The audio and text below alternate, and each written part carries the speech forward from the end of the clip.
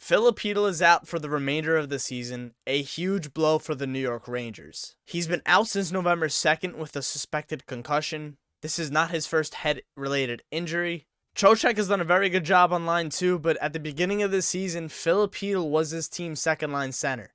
Drafted 21st overall in 2017, Filip Chytil solidified himself as a top six forward on this hockey club. He's been by far the brightest spot of the New York Rangers rebuild. He was the beginning of the rebuild, and he was a huge part of why they got out of it. He's the third longest tenured New York Ranger. This is a huge blow. Now, number one priority is for him to get healthy as a human being, but this team is absolutely going to miss him. By far the brightest spot, in my opinion, for the Rangers rebuild. Rumors swirling around, ton of interest on Rangers Kaapo Kakko, second overall pick in 2019. Plain and simple, just has not lived up to that offensive potential that the Rangers wanted. The Rangers now might be looking to explore options to getting rid of him.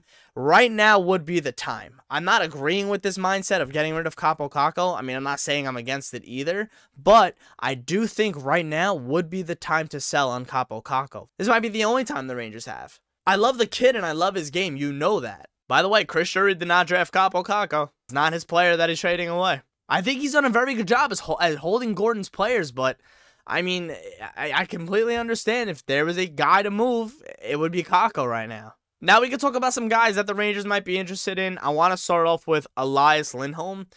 He's been on the trade block for the last couple seasons. His game really exploded as a two-way forward with a really high offensive upside game when he got to Calgary when he was in Carolina, really didn't have that two-way game. He was a good player. They got him the Cal. They gave him the Calgary.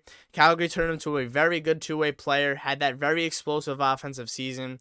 Hasn't really put up those numbers since, but he's still a very good player. Rangers could be potentially interested in him. They've apparently been interested in him for a little bit.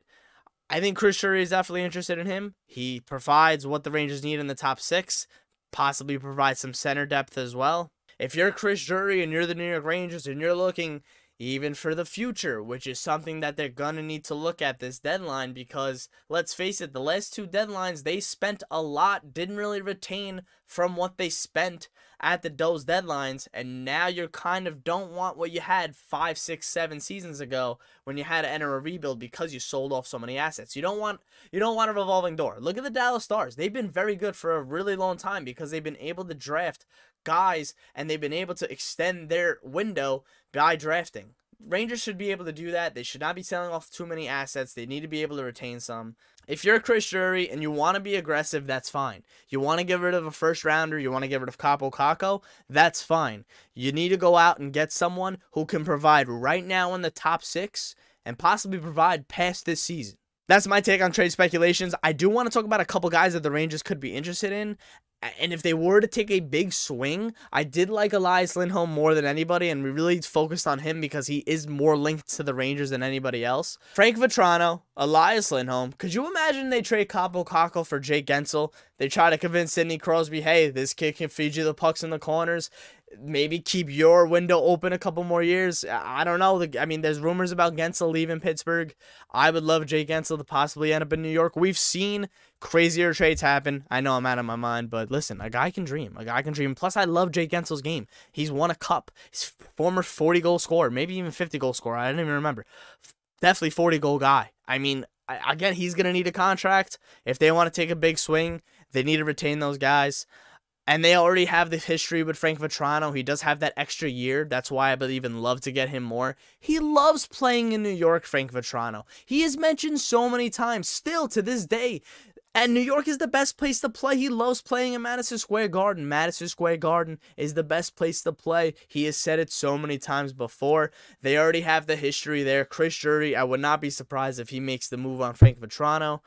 He belongs here. If there was any guy that belongs here in the league right now that's not on this team, Frank Vatrano belongs here. NHL All Star Weekend in Toronto this weekend. They're going to have a draft for the four different teams, I believe, tomorrow night. I hope it does well. I'm going to watch it if I can, if I'm not doing anything else. If I'm not tuning in Modern Family, great television show.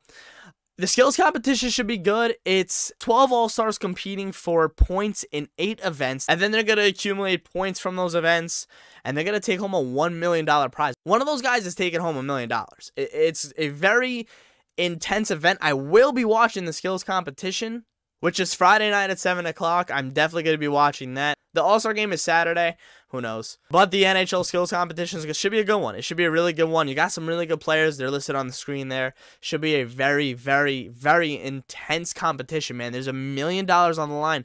I don't think there's been maybe a 12 player competition in NHL All Star game history where there's this much money on the line. Don't quote me on that, but should be intense. Should be really cool to see.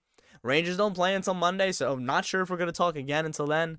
But I appreciate you guys watching. Please leave a like down below if you did enjoy this video. Please let me know on your guys' comments and opinions about this week's New York Rangers news. Subscribe if you guys are brand new. Thank you so much once again for 10,000 subscribers. I really do appreciate it. All right, I'll see you guys later.